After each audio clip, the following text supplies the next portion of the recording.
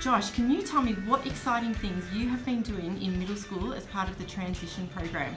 Um, in middle school, we've been doing digital art, and that's been my favourite. And in digital art, we've been doing stop motion videos. And at the moment, we are in the middle of doing one.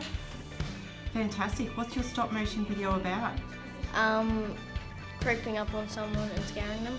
Oh, fantastic. Brilliant. Thanks very much, Josh. I hope you enjoy the rest of your transition program.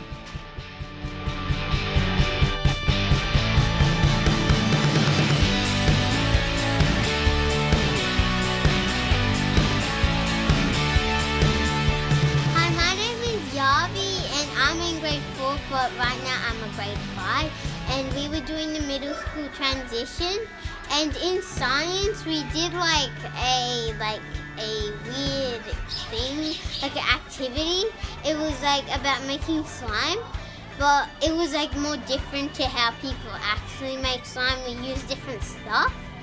And it kind of felt cool because it was like well, normally when you're making slime, you already know what's going to happen, but I didn't know what was going to happen when we made a different one.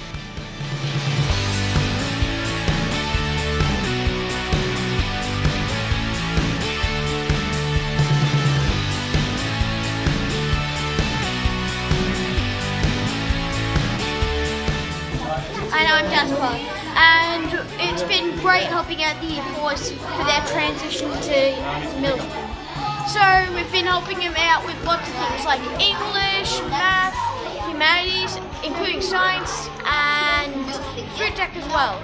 And well, maybe not fruit tech, but digital arts. It's been awesome with helping them learn, and I just hope they have a really good year.